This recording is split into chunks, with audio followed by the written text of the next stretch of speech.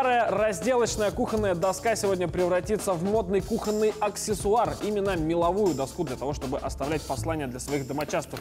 Товарищ Игорь, мастер на все руки, сегодня нам поможет и расскажет, как это сделать.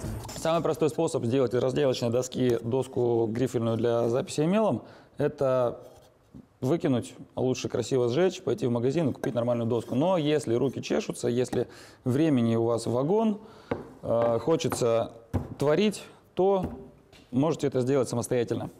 Да, первым делом мы доску отшлифуем. В домашних условиях, наверное, не у каждого есть орбитальная эксцентриковая шлифмашинка. Можно взять э, брусок для шлифовки. Если у вас нету бруска с самоклеющейся шкурой, возьмите просто хоть какую-нибудь шкурку. В общем, если мы шлифуем руками, мы это делаем по волокну.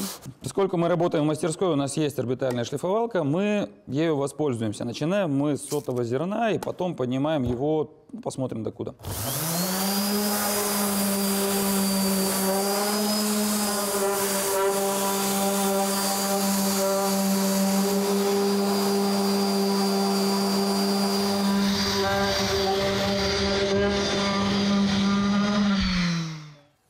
Ты обрабатываешь кромки, Ага, окей, я буду обрабатывать кромки, а ты будешь... а я буду замешивать.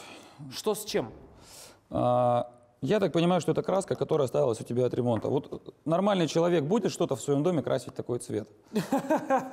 Мы добавляем в краску любого цвета, в моющуюся акриловую или там еще какую-нибудь краску, добавляем мы в данном случае гипсовую штукатурку, да?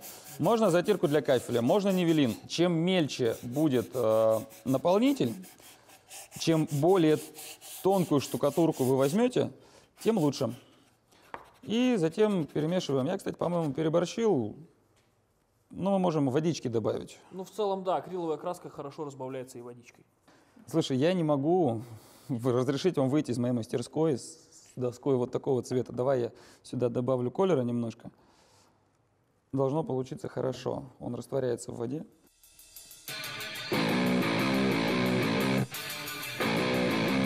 Процитирую Джонатана Дэвиса. Are you ready?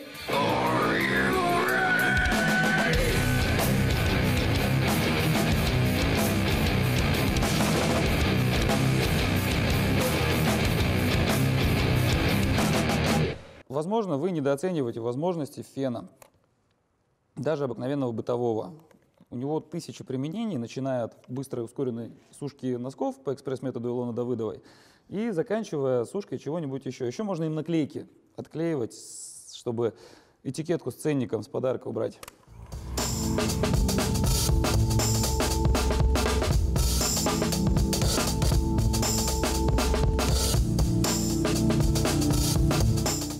Слишком шероховатая, поэтому, мне кажется, она будет сильно обдираться.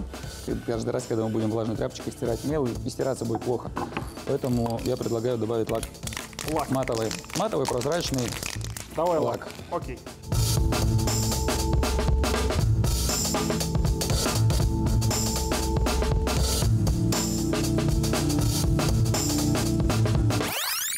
Спят усталые игрушки, книжки спят.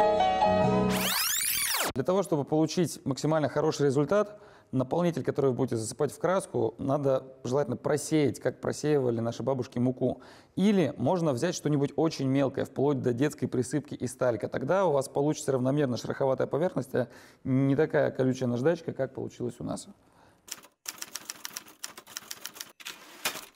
Вот такое практически шедевральное, я бы даже не постеснялся сказать, э, произведение искусства у нас, да и у вас может получиться при наличии фантазии и определенного рода сноровки. Смотрите «Утро на Енисее» и не забывайте работать руками.